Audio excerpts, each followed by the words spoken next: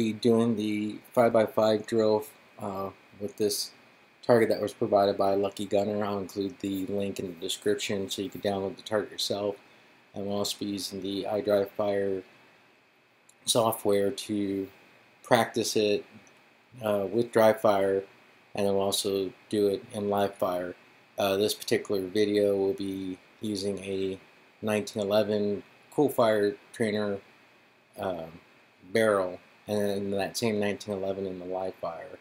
And then afterwards we'll show the results uh, on the difference of times and accuracy from dry fire versus live fire. So let's get it.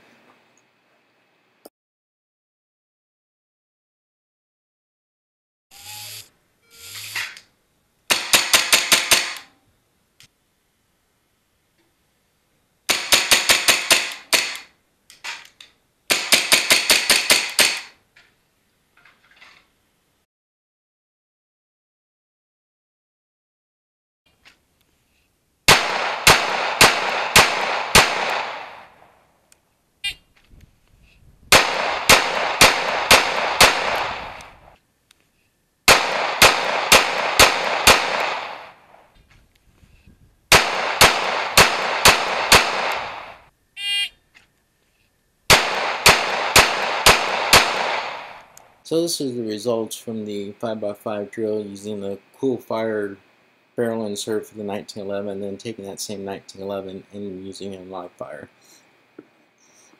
So dry fire, as you can see, this, these two are probably averaging about 2.88 um, from a holster with a few misses here and there.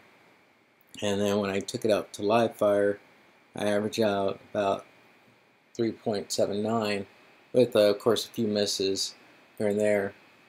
Um, you know, usually you're supposed to practice a lot more, get better. Uh, this is just first time taking on live fire um, and trying it out. And as you can see, there's roughly about a second difference between dry fire and live fire. But the times I've also did it with the cert, it was also a little bit quicker than, than the Coolfire. So there is so the Coolfire trainer does help with that added recoil to um to simulate that recoil to help you become a better shooter, but it's not the full recoil um, that you get from a regular 1911 in this case. But uh, but it does help out some.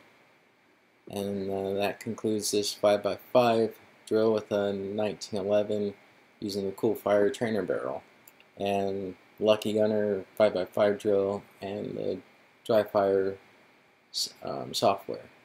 Thanks for watching.